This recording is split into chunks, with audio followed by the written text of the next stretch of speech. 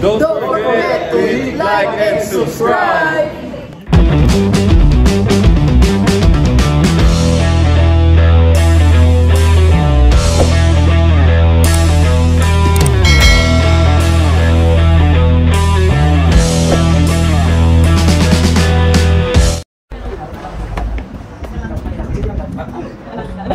Exposure. Well, chef nga over-exposure! Hindi mo na. Ginawang blend ah! Ito delikado siya pa. Sino tayo mag-start? Alin ang bukas ng gate ito? Yung kabila. Yun yung side ng ano ng Jerry's Grill. From Jerry's Grill, yun Ah, yung gate. okay.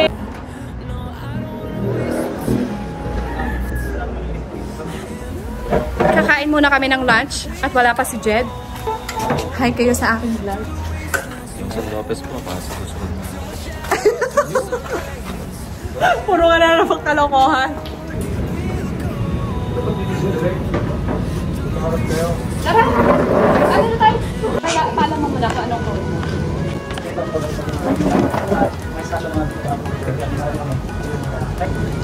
So, yun nga, meron tayong surprise birthday prank na gagawin. Since na kami, kakilala na kami ni ma'am, so nangailangan ng mga tao na hindi kilala. Okay, ang senaryo, si Abby, imimit yung popol. Kasi may usapan sila about dito sa lupa. So, ganun ang senaryo, kakain sila sa loob ng Jerry's kasi doon ang meeting nila. So, kailangan natin ng videographer doon na magpapanggap na may shoot na product. Okay? Food photography, Good, bali ang oo, magiging. para- So, ang mangyayari po pwede, may isang camera nakita doon sa food na talagang kinuwanan nyo. Pero may isang camera dapat na nakatago. Actually, itong meeting na to, ang purpose talaga para dun sa mga bagong shooter na kinuha. Kasi bago pa mangyari to, nagkaroon na kami ng previous meeting. So, ang purpose lang nito, para i-smooth lang natin kung paano yung magiging pwestuhan natin. Yan. Stopper, ang kunyari nagpo-food photography, toaster, yung Tago. sa video natin. Yeah, mamaya Parang punta natin. advertisement mismo ng pan. Yun kasi yung sinabi namin eh. Parang magpapagawa sila ng commercial kineme. Ganun. Okay, so ganun nga mangyari. Ngayon, papasok si Frank na si Abby, parang malala, babaguhin yung presyo ng usapan sa lupa. Kasi ang details na is about sa lupa. So ngayon si Sir, gagalit mga iblad. Kailangan ang goal natin, mapagalit si Sir. Kasi Tsaka, Para ma-distract si Madam na Tutok mag actually, gusto natin yung reaction ni Madam.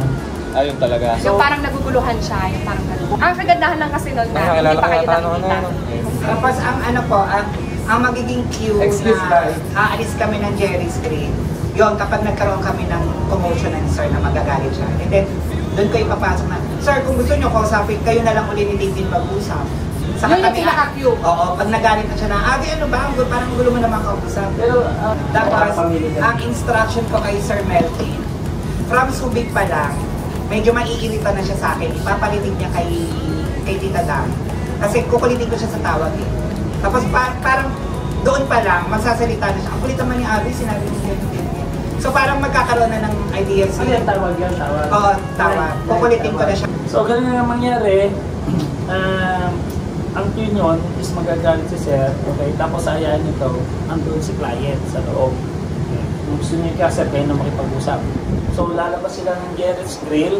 Okay, ngayon, Yun lang naman yung pinaka-critical yung una. Tapos na sila mag-meeting. Punta na sila ngayon. Re-enactment na, magre-enactment kami para sa aming mga pwestuhan. Let's go! Let's go! Ganito pala kahirap kapag uh, nag-shoot ka ng birthday surprises. Talagang mapusisi, pinag-isipan, at talagang in-smooth ang mga detalye. Munti in beauty. Yan. BP lang malakas. So dito unang mangyayari ang kanilang shoot. Sir.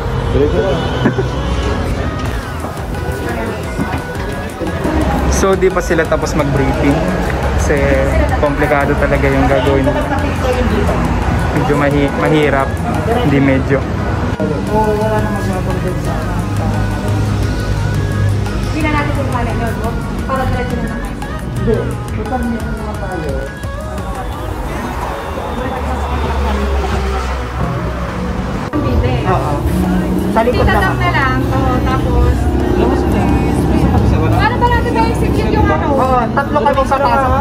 Pag ano, ito na. ah. Ano Pag ganun na.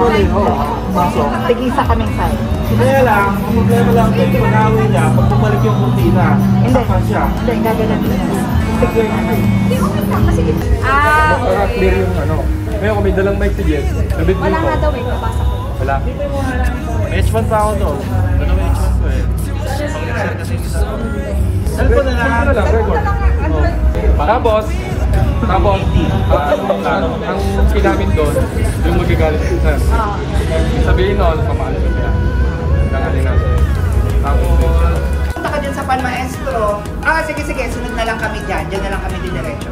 So, saka kami pupunta. Nasama ko doon ng Oo, nakatago na sa yung pag-blind ko. Pagpapasok, protocol ma'am. Tatawa din sila sa protocol ng blindfold. Ay, baka pumilang yun. Lang lalaki. Ikaw lang, wag, wag, hayaan nyo lang Hindi, siya. hindi nga ako baka sila kidnap yata. Hindi, okay lang yan. Hindi, pag sinabi kasi protocol, joke yun. So okay lang yun. So at least kakalma siya, hindi siya kakabate na Nakainin mo na yung babae. Tapos ikaw makakalma. Basta ang babayanan mo kami ha. Kasi before naman ako pumunta doon, inform na kita na pupuntahin ko. Details ni. Oo. Wala pa kami tinatrabaho. Nasa iyo pa naman. Okay. Ang oras po ay 2.25. Ay, 1.25. 5 p.m. po po yung start. Wala lang din ba? Hindi sabi sa'yo sa ako, ba't ganyan ayaw mo send sa iPad? Ayaw mo send sa iPad ko. Sa akin para nag-safety ako sa iyo. Di ba, pinatanong ka kita. Actually, wala na akong number sa iyo ha. Malakas ba yung H1? Hindi ko nasa ilalim sa akin. Dahil video sila. Si tita nagdi-detail na dun sa loob. Jupit. Yeah. Pawis nga lang. Pawis ka lang.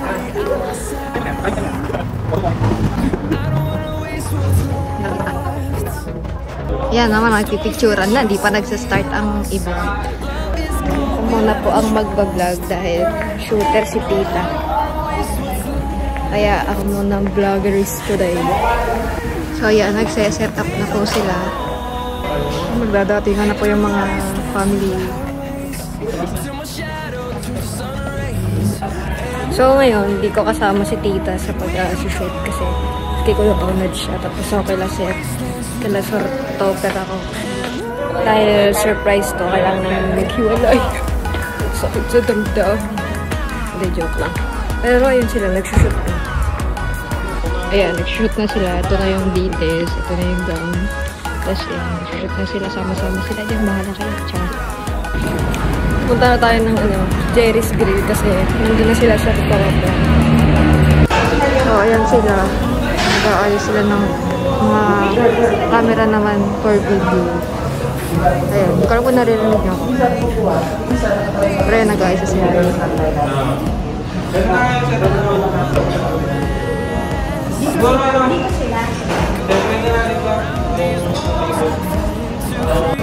Ayan, nag-aayos pa rin sila hanggang ngayon.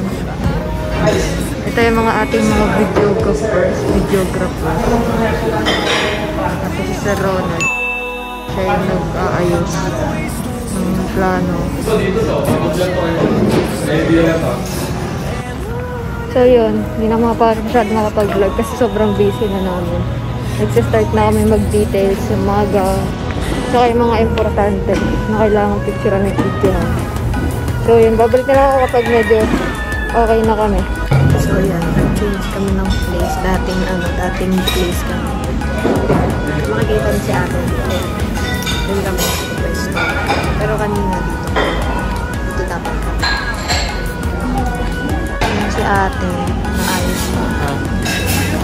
Ay, ate. Ah, so yan, sila sir. Binigay na yung parang pagkain ng crispy pata. Ayan, kumukuhit na po sila. Kitang-kita sa ako. Ayan, natin sir. Mmm, sarap. Grabe.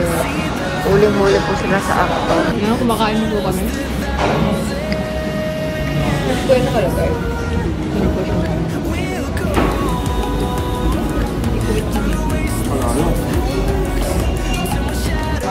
yeah.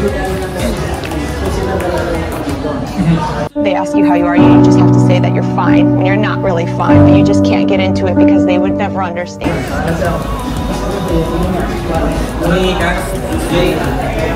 Hala pa po yung babae.